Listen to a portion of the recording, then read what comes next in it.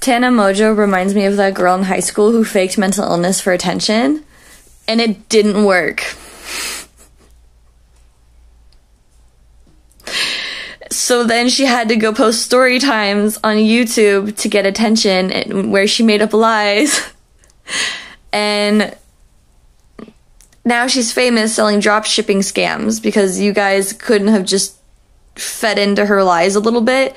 I mean, if she's making up a lie at school, right? I'm not saying this happened. I'm not saying this happened, but I feel like I bet Tana Mongeau was like, "Oh yeah, I have depression."